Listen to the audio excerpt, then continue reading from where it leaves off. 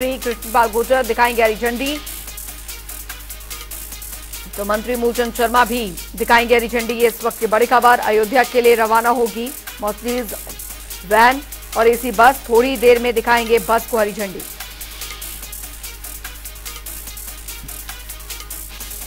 तो ये बड़ी खबर आपको बता दें, अयोध्या के लिए बस जो है वो यहाँ से रवाना होगी। मंत्री कृष्णपाल गुर्जर दिखाएँगे हरी झंडी। मंत्री मूलचंद शर्मा भी हरी झंडी दिखाएँगे इस बस को।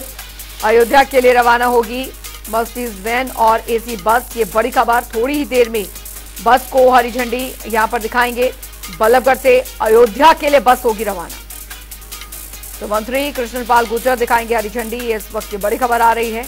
मंत्री मूलचंद शर्मा भी हरी झंडी दिखाएँगे। अयोध्या के लिए रवाना होगी मर्सिडीज वैन और एसी बस। थोड़ी ही देर में इस बस को हरी झंडी दिखाकर रवाना किया जाएगा। तो मंत्री कृष्णपाल गुर्जर दिखाएँगे हरी झंडी। इस वक्त की बड़ी खबर आपको बता रहे हैं। मंत्री मूलचंद शर्मा भी हरी झंडी दिखाकर रवाना करेंगे। अयोध्या के लिए रवाना होगी मस्जिद वैन और एसी बस।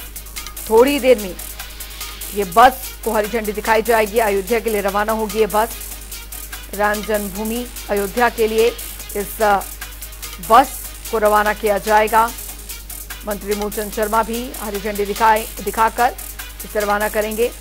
तो बल्लभगढ़ से अयोध्या के लिए ये बस जो है, बस कुछ ही देर में रवाना होने जा रही है। मुकेश राजपूत, संवाददाता हमारे साथ जुड़ गए हैं। ज़्यादा जानकारी के साथ मुकेश, बल्लभगढ़ से अयोध्या के लिए इस बस को रवाना किया जा रहा है बस कुछ ही देर में? देखिए अंजलि, बिल्कुल, कहीं ना कहीं हरियाणा सरकार की तरफ़ से एक बड़ी सौगात आज फरीदाबाद वासियों को मिली है, जो कि अयोध्या रामलला के दर्शन करने के लिए तमाम यात्रियों को आज बड़ी सौगात मिल रही है और कुछ ही देर में जो है वो हरियाणा के परिवहन मंत्री और केंद्रीय राज्य मंत्री कृष्णपाल गुर्जर बस को हरी झंडी दिखाकर जो है वो अयोध्या के लिए रवाना करेंगे और तमाम यात्रीगण जो है वो पहुँच चुके हैं, उनका रजिस्ट्रेशन जो है वो कहीं ना कहीं हो चुका है। और आपको बता दें कि बीपीएल धारक जो लोग हैं, जो गरीब लोग हैं, जो एक लाख अस्सी हज़ार से नीचे की आय वाले जो लोग हैं, उनको ये मौका दिया जा रहा है। उन्होंने कभी नहीं सोचा होगा कि उनको रामलला के दर्शन होंगे।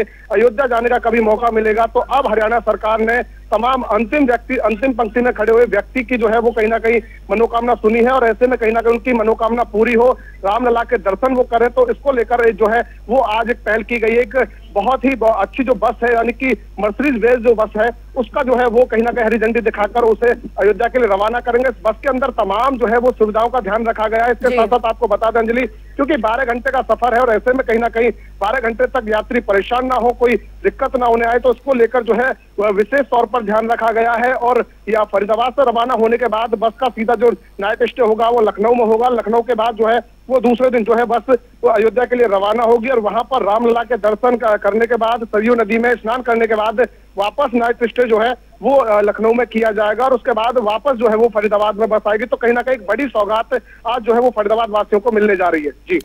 बहुत बहुत शुक्रिया मुकेश राजपूत इस तमाम जानकारी के लिए।